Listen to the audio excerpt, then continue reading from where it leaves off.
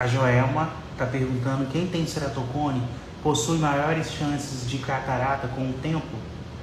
Não tem tanto essa correlação, não. Sabe por que, que eu falo que não tem tanto essa correlação? Porque catarata todo mundo vai ter, sabe, Joel?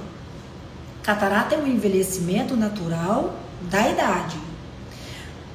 Mas o míope tem um olho um pouco maior do que o normal.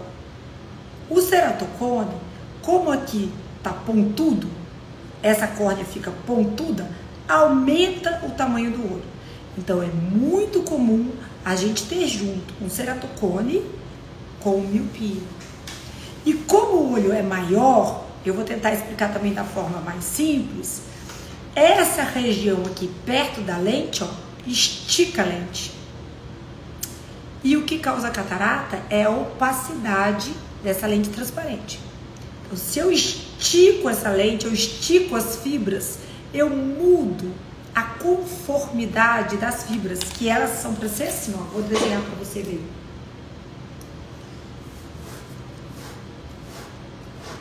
As lamelas são certinhas assim, ó. Tá dando, tá dando para ver, gente? Fiz umas linhas paralelas. Se você estica, fica com linhas assim, ó. Tá dando para ver? E isso faz com que perca a transparência. Então, se você me perguntar se a pessoa com ceratocone tem mais chance de ter catarata, não. Todo mundo vai ter catarata um dia, porque é o envelhecimento natural da idade. Se a pessoa com ceratocone tem chance de ter catarata precoce, tem. Mais precoce, tá?